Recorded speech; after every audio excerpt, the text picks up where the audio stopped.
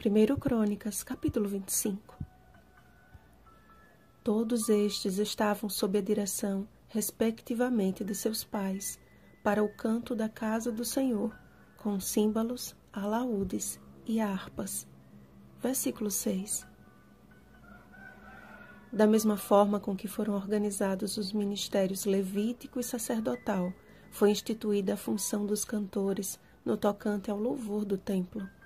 Os filhos de Asaf, Emã e Gedutum foram separados por Davi e pelos chefes do serviço para este mistério.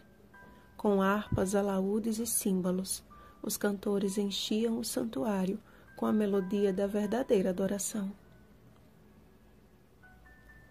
Aqueles servidores não eram apenas músicos, mas através da música eram agraciados por Deus para profetizarem Notem que Gedutum profetizava com harpas em ações de graças e louvores ao Senhor. E Emã era o vidente do rei e cujo poder Deus exaltou, segundo as suas promessas. Eram homens inteiramente consagrados a Deus e que exerciam o seu ministério debaixo das ordens do rei.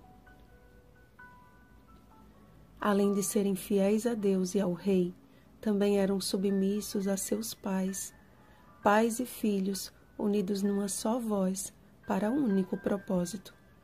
Em grupos de doze, eles se revezavam para o canto da casa do Senhor, de forma que o templo era um lugar de constante louvor e adoração. A música, portanto, exercia um papel fundamental, de fundamental importância no tabernáculo, uma cópia do que acontece no santuário celeste. E os quatro seres viventes não tem descanso, nem de dia nem de noite, proclamando: Santo, Santo, Santo é o Senhor Deus, o Todo-Poderoso, aquele que era, que é e que há de vir. Apocalipse capítulo 4, versículo 8. Como antigo regente da corte angélica, Satanás tem pleno conhecimento da importância da música na adoração e tem trabalhado com afinco a fim de desvirtuá-la. A música possui o poder de influenciar a mente humana como nada mais consegue.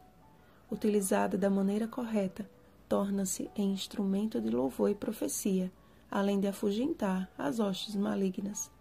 Usada da forma errada, mesmo que com aparência de piedade, exerce o mesmo engano do diabo no deserto da tentação, quando tentou fazer Jesus tropeçar usando a própria Escritura. A Bíblia não declara quais são os instrumentos de Satanás, mas uma coisa é certa e precisamos estar bem atentos a ela. O inimigo é mestre no quesito misturar a verdade com o engano. Por supervalorizar esta discussão, muitos têm perdido o foco do que realmente importa: sermos verdadeiros adoradores, porque são estes que o Pai procura para seus adoradores.